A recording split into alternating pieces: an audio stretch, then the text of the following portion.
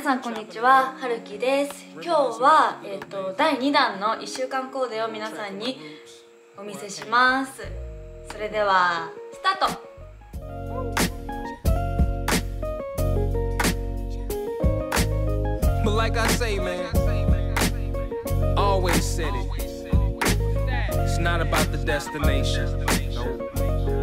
今日のコーディネートは、えっと、新しいマフラーを下ろしたのでマフラーに合わせたコーディネートを組みました。なので全体的に暗めにしてマフラーで色を入れてみました。あとは、えっと、お気に入りのロングコートも着て、えっと、あったかいけどおしゃれな感じに仕上げてみました。以上です。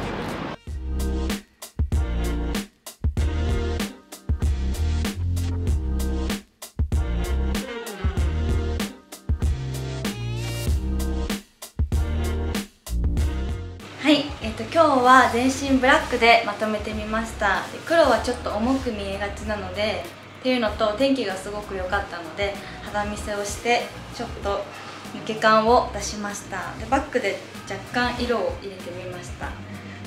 以上です。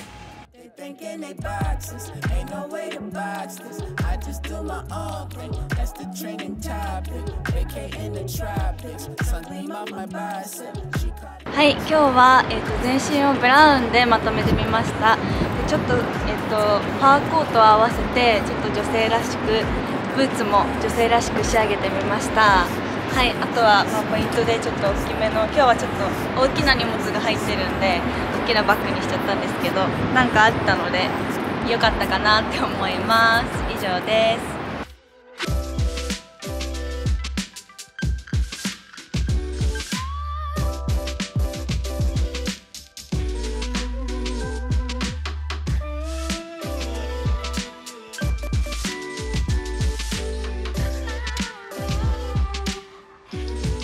はい今日のコーディネートはピンク色のコーディロイのオーバーオールを合わせました。ピンクでインパクトがあるので他は全体的に黒っぽくしました。えー、っとちょっとガーリーだけどボーイッシュな感じでこのオーバーオールとっても気に入ってます。以上になります。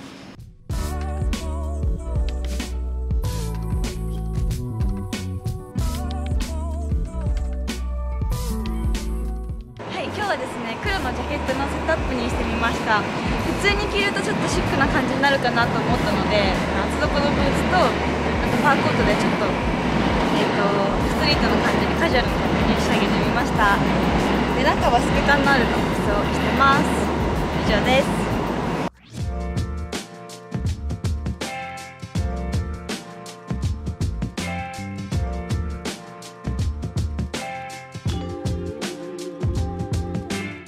はい今日は、えっと、久々にスカートを履いてみました。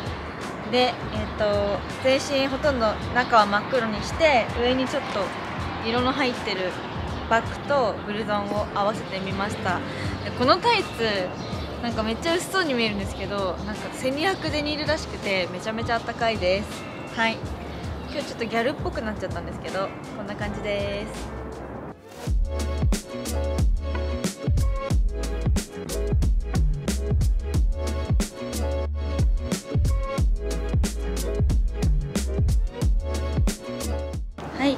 今日のコーデはこんな感じになります。えっ、とアクセントでピンク色のトップスを入れました。でねこのブーツ本当によく履いてるんですけどもう楽すぎてめちゃめちゃ履いちゃってるんですけど全体的にグレーとピンクと黒で合わせました。こんな感じです。はい。はいこんな感じで1週間コーデをご紹介しました、まあ、冬だからね結構黒が多くなっちゃったんですけどよかったら参考にしてみてください。それでは次の動画でお会いしましょう。バイバーイ。はるきでした。